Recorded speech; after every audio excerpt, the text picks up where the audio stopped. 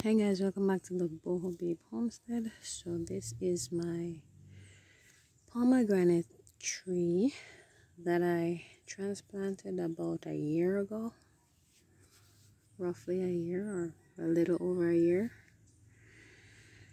This is what it looks like now. Or they looks like. It's a few of them. I grew these from seeds.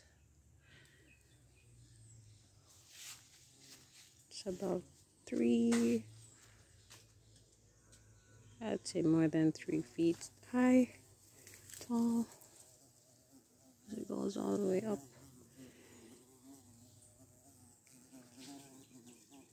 But this guy right here is a baby pomegranate.